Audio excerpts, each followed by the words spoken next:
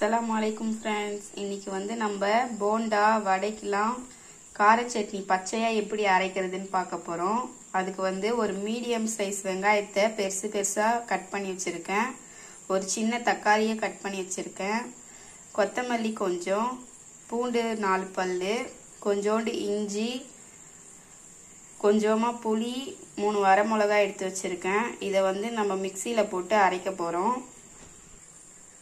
இப்போ நம்ம எல்லாத்தையும் மிக்சியில் போட்டுக்கலாம்.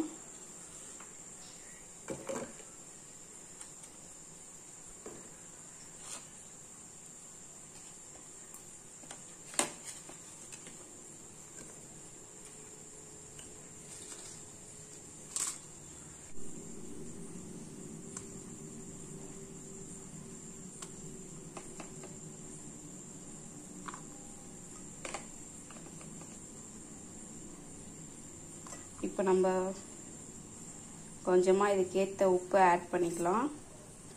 இதை வந்து நம்ம அரைச்சி எடுத்துகிட்டு வந்துடுவோம் இப்போ நம்ம வந்து இதை அரைச்சி எடுத்துகிட்டு வந்தாச்சு.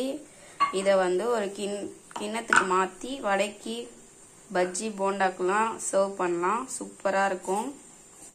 இப்போ நம்ம இதை ஒரு பவுலுக்கு மாற்றியாச்சு சுட சுட போண்டாவோட தொட்டு சாப்பிட்டா அருமையாக இருக்கும்.